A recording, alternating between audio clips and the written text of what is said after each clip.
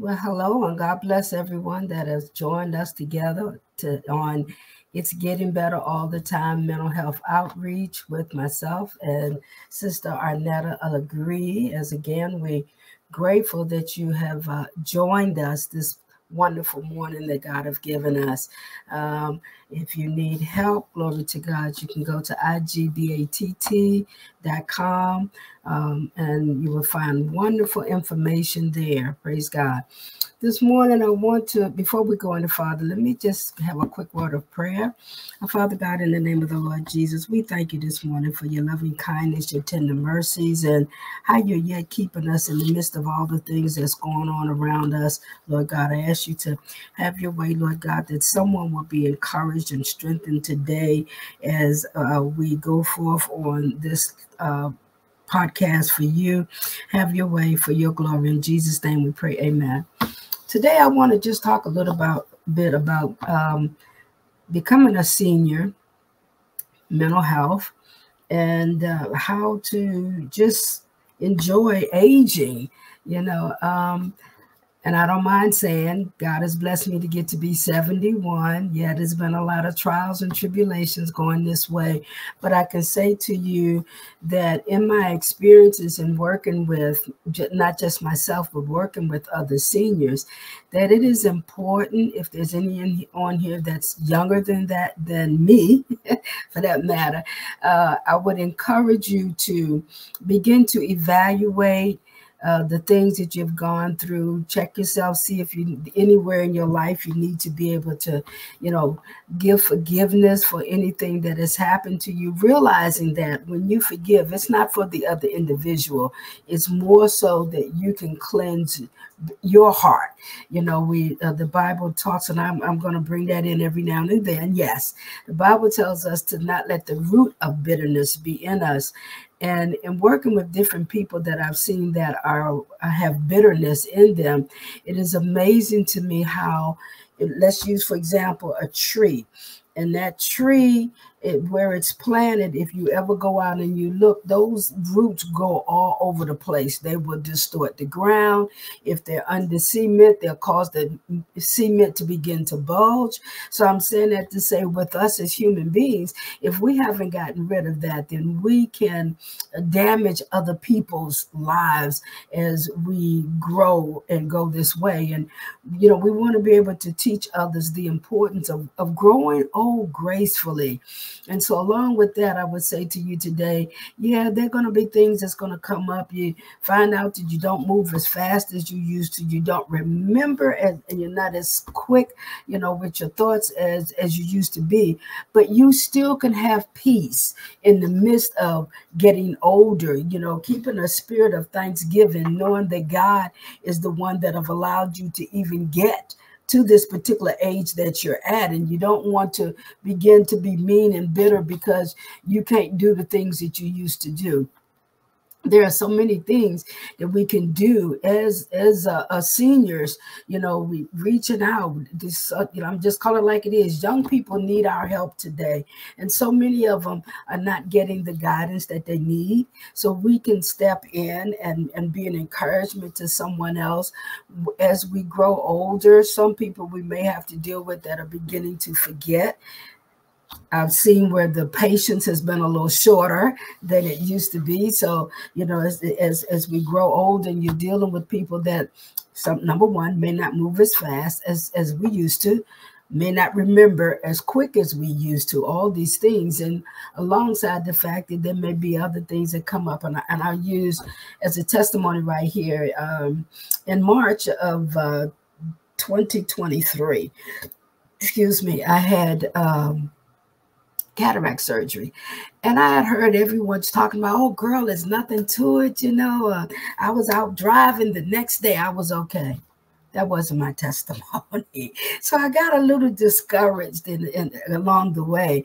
Um, got to the point where I could not um, drive myself um, at, at night.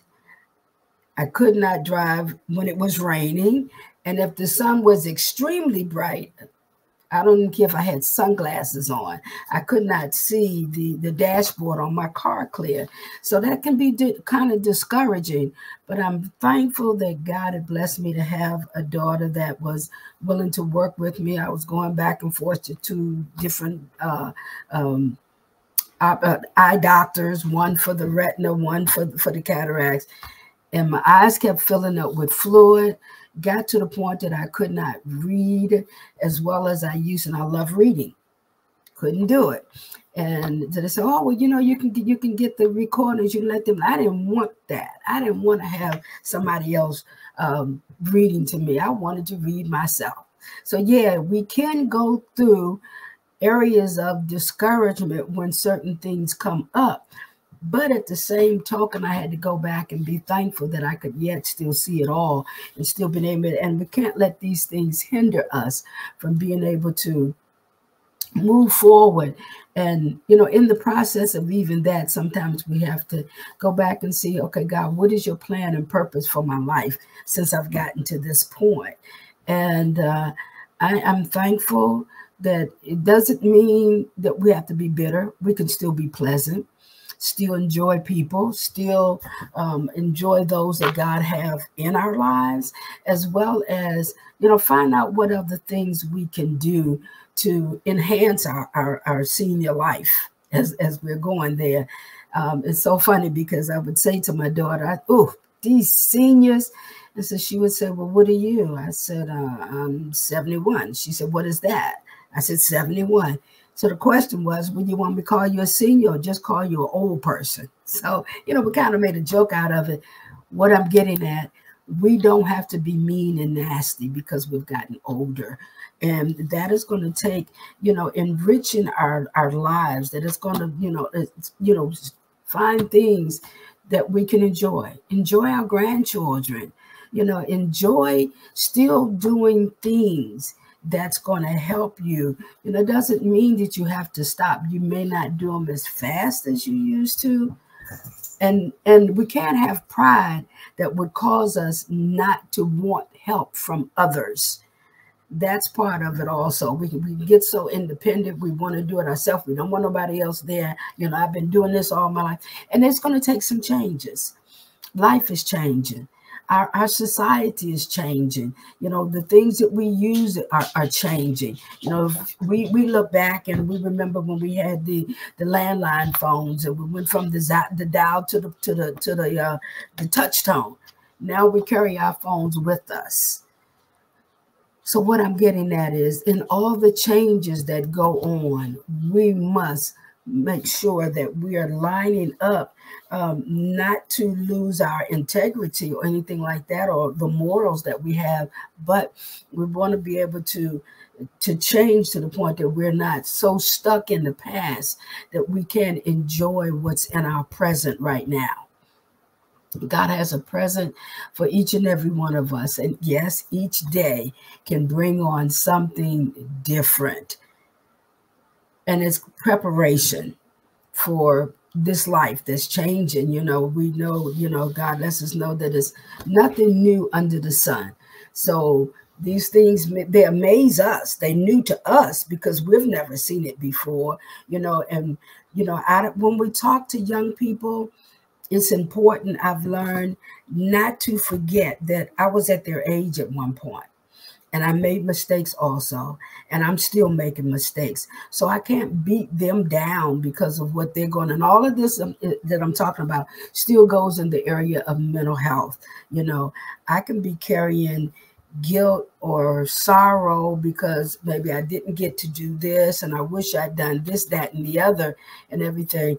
I can't erase my past. I can't change my past, but I can appreciate where I am right now. I don't even know what's going to happen on tomorrow, more or less tomorrow than in the next few hours, but I can enjoy where I am right now. I'm learning the importance of being content at the place that I am in my life.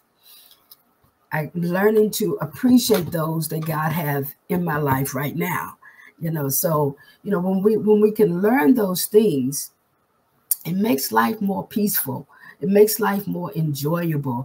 It makes life to me has been adventurous, you know.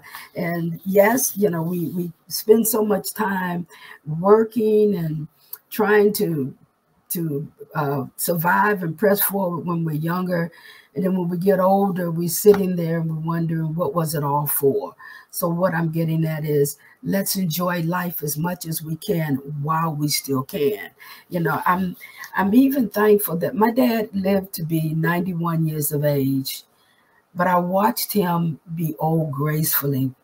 At that age, he was yes, he had gotten sick, couldn't do for himself anymore, but he was still a very kind man, very pleasant person, and it made it easier for me to be his caregiver because of his pleasantness. But I've also seen the other side where someone gets older and they're so full of bitterness over things that have happened in their life that they're make it hard and they're you know not satisfied with the ones that are there to help them um, through whatever it is that they're going through with. And and it became uncomfortable. It doesn't have to be. I can't say that enough. It does not have to be so the whole thing, important thing of all is enjoy who you are. If there's anything that in your life that you realize, look, I need to work on, I need to get a little better with this, it's still time to do it. As long as there's breath in your body, you have an opportunity to make some changes, um, to um, evaluate how important is this day, and is it worth me being grumpy and mean uh, um, you know, I've, I've heard uh, older people say to me, don't get old. I said, you're telling me to die young. I'll tell anybody, if God has allowed you to get to this age, let's get there peacefully. Let's get there joyfully. Let's leave a legacy of love for others around us and not, oh, I'm so glad she's gone. She made life so hard for me. No. And, and yeah, there will be times that, um, Certain ones don't want to be bothered with you, but then appreciate those that do. I've learned to appreciate my family more, my friends, and the things that, that God have allowed me to do that it causes me not to be lonely. It's okay. Some of us do get lonely. Some of us seniors are living by yourself. But what can you do you know, a lot of times we're waiting for others to do for us and then still have an attitude because we need them, but we don't want them at the same time.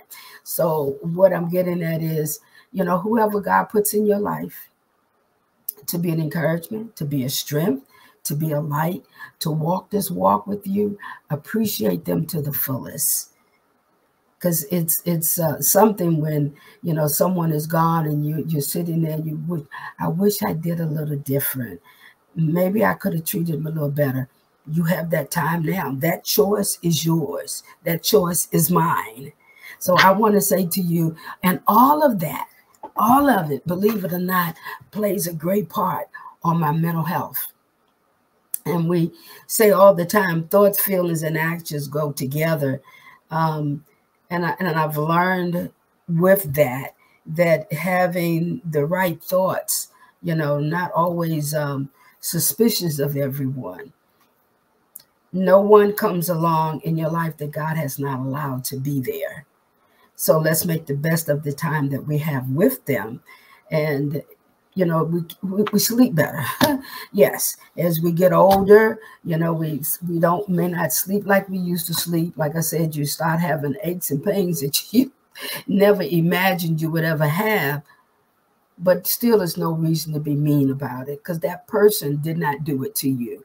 You know it's just a part of getting older. It's it's it's a part of growing in this life you know? So my encouragement is you to today make the best of whatever time that you do have. Appreciate whatever age god has allowed you to be here. And as for me i am not telling anybody that i'm here on borrowed time. I'm here on the time that god is allowing me to still be here. So since he's allowed me to still be here i'm going to enjoy this to the fullest that he's allowed me to. And that in itself helps me to stay peaceful helps me to stay calm help me not to be frustrated with all the things that's going on around with me. So, but I do encourage you all as, as you're growing. Um, um, maybe my age may even be a little older, but one thing that has helped me through it all is having a prayer life.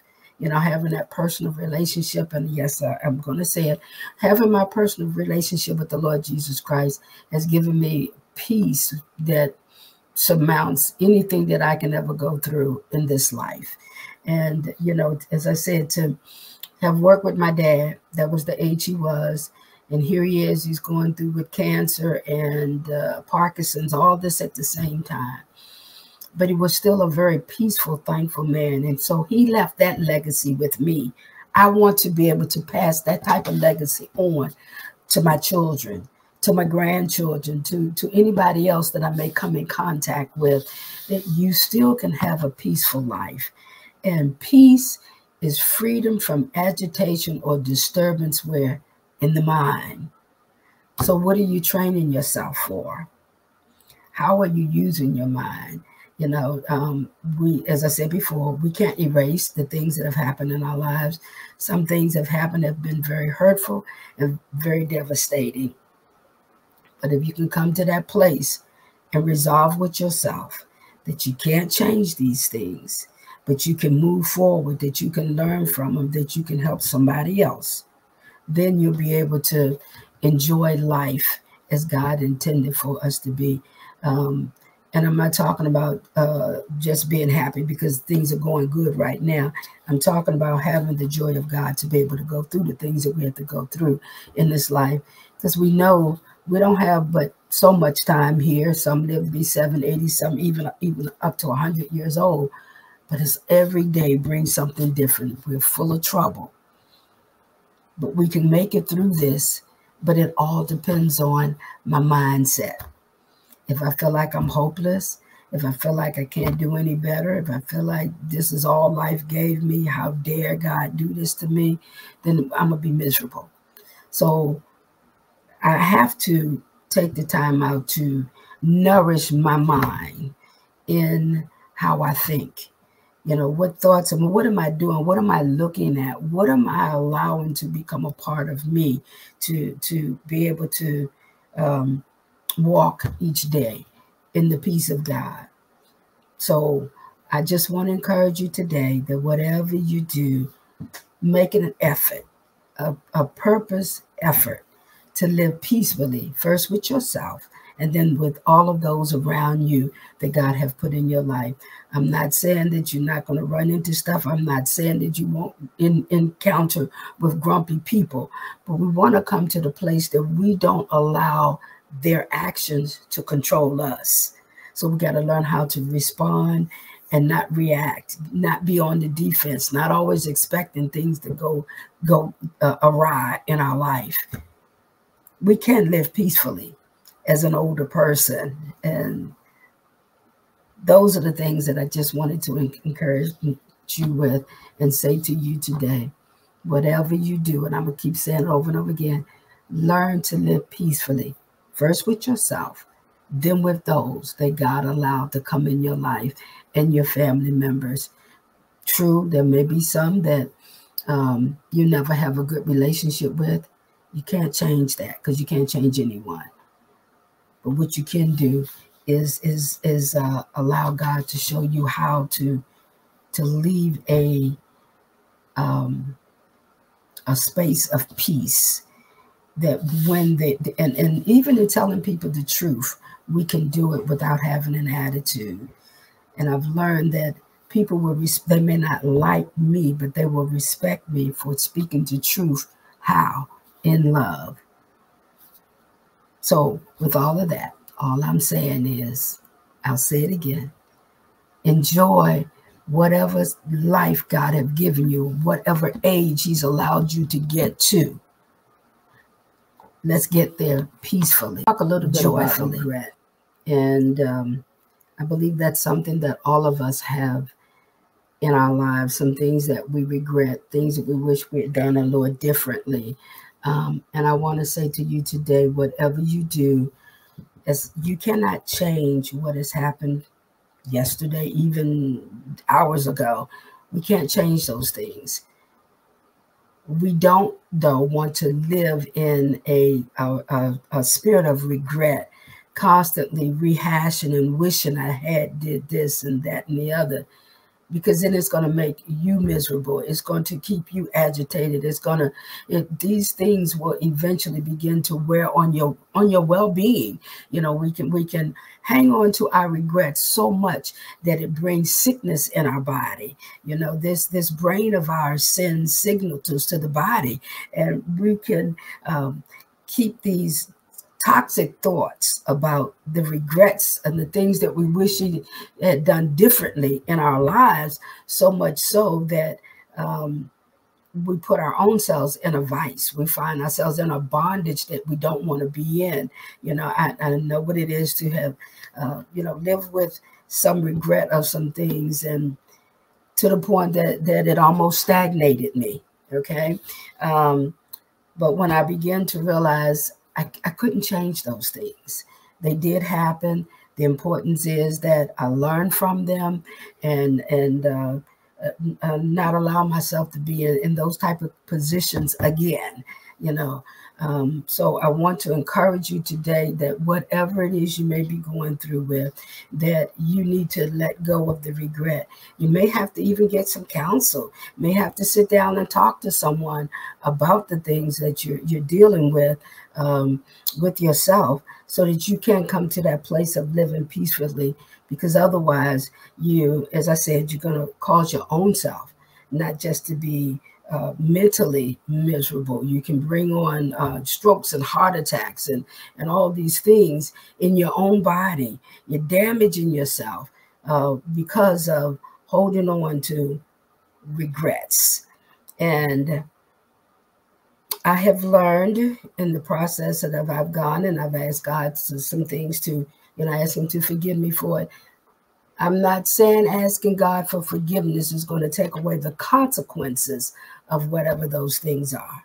But one thing for sure, God can give you grace to go through whatever it is uh, that you consequences of whatever that has happened.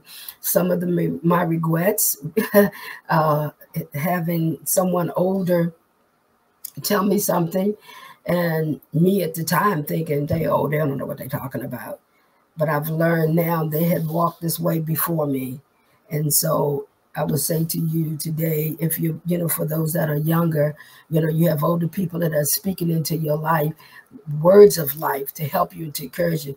Take them at face value of what they're saying to you to help you to not have some regrets. You know, um, going this way, we are going to make mistakes. I made mistakes and uh, I had to come to a place of, of reconciliation with myself over the things that that I had gone through with.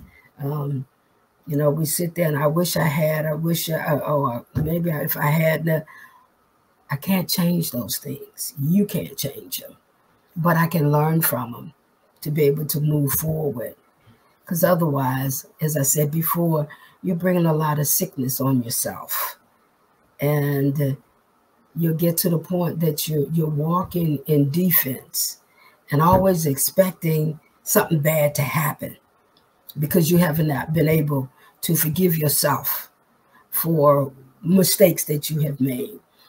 Um, yes, regret, it, it's a human thing. We do regret them, but it doesn't mean I have to stay there. I have to learn how to overcome it. And you say, you keep saying, overcome them. Resolve the fact that yes, they did happen. Yes, I did make this mistake, but it's I've learned from it. I will not do this again by the grace of God, so that I be able to move forward. So I pray that you know that it, whatever it is that you, are dealing with, you know, we, and even some of us, we, we feel bad and sorry. Oh, uh, we, we not carry our own regrets. We may re- regret what family members have done to us or friends, even. I say again, you can't change them, but we can overcome them of whatever things that have happened. So, in all of it that, that I'm saying to you, is it's a mindset. It's a mindset. And I can sit here and go over and over and over and over again, rehashing the situation that, that have happened. It's not going to change it. So why can't I overcome it? So in, in the process, let's not beat ourselves up. Okay. We have a God that is gracious, that is loving, that is merciful.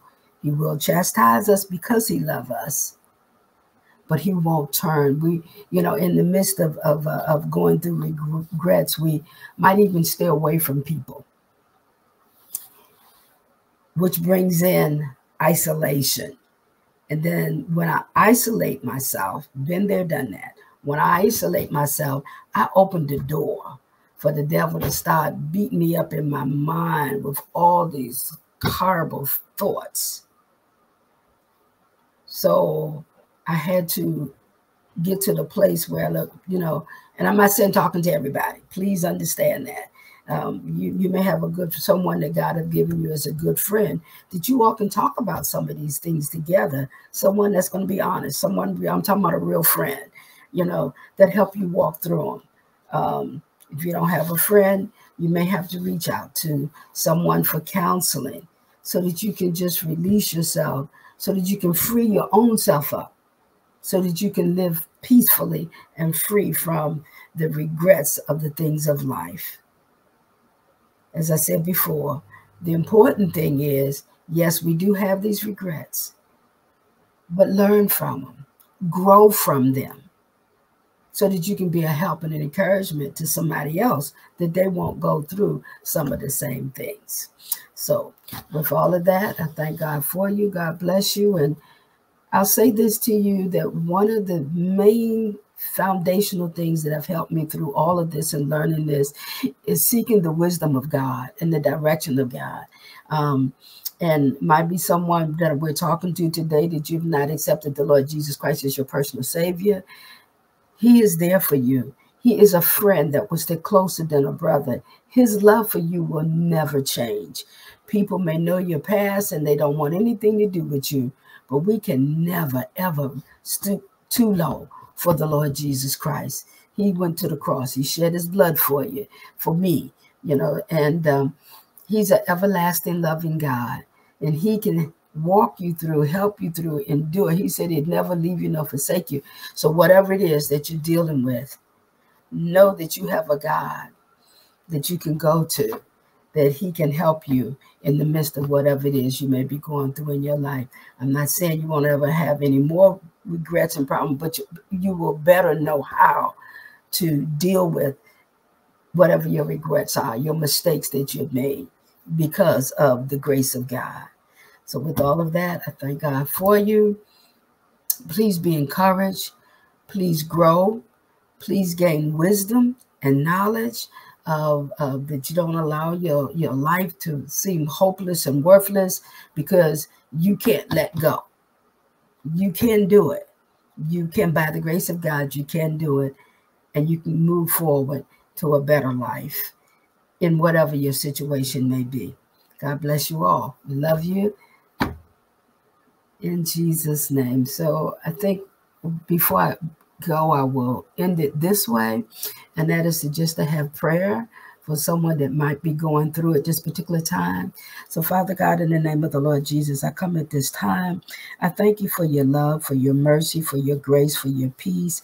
I thank you, Lord God, that whatever it is, that you are refuge and our strength and a very present help in trouble.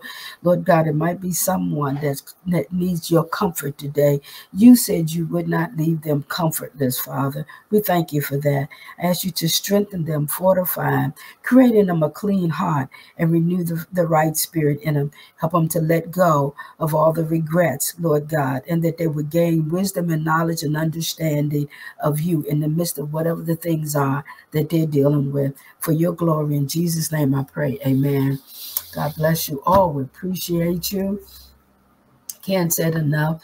This has been, it's getting better all the time. Mental health outreach. Um, you know, let, let God be God in your life on today so that you can know what it is to have his peace, which passeth all understanding. You know, be sweet as you go through the day. Yes, you may encounter those that are not so nice, but one thing for sure get to that place that you don't allow them to dictate your actions to give you something else to regret. God bless you all. Appreciate you.